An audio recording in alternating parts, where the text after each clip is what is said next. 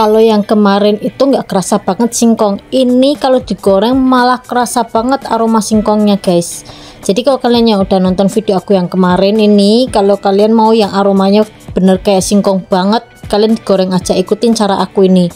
Bakso aci singkong yang aku frozen kemarin itu aku baluri dengan telur dulu baru nanti aku pakainya crumbs nah ini pakainya rempahan dari regal aja sih kalau aku biar ada kerasa manis manis dan wanginya gitu aja guys. Ini aku balurin pertama terus nanti kalau udah kebalur semua regalnya gitu nanti aku baluri lagi dengan telur lagi. Jadi biar regalnya itu digoreng biar nggak pecah aja dia guys biar nggak mencar-mencar.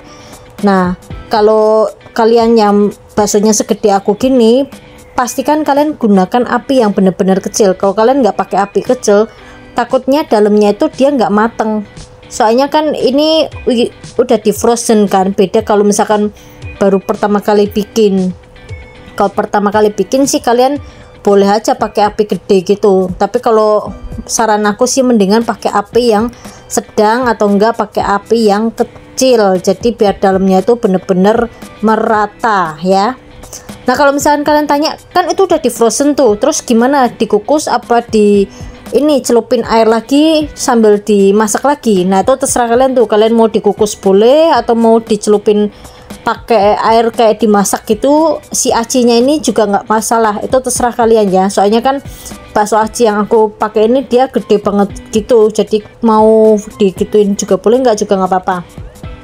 Kalau digoreng ini nanti aroma si singkongnya ini baru keluar banget. Beda kayak kemarin. Kalau pertama itu dia nggak ada aroma singkongnya sama sekali. Jadi kayak flat aja aromanya kayak biasa-biasa aja gitu. Tapi pas digoreng ini gila ini bener-bener langsung kerasa banget si aroma singkongnya tuh guys. Nah ini aku udah balurin yang kedua kali nih. Tinggal aku masukin aku goreng ke api yang panas tapi posisi apinya itu yang kecil.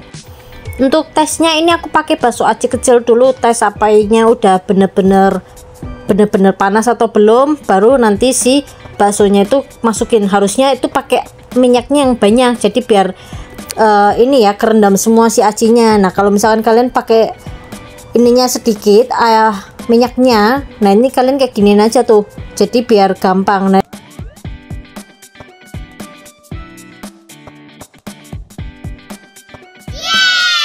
ini hasil jadinya seperti ini tuh dalamnya kalian bisa lihat dalamnya tetap udah matang karena aku pakai apinya kecil tuh. Bagus itu guys hasilnya guys. Tinggal kalian ini aja. Langsung makan aja itu. Nggak nggak bakal kerasa dingin dinginnya ini enak banget loh. Kalian perlu cobain sensasi makan aci singkong yang satu ini deh. Ini bumbunya kalian terserah. Aku sih pakainya cuman kecap sama saus aja sih. Itu udah enak banget. Kalau misalnya kalian mau dicampur kayak bumbu kacang ya boleh. Kalian nanti ambil aja resep dari bumbu kacang yang pernah aku share gitu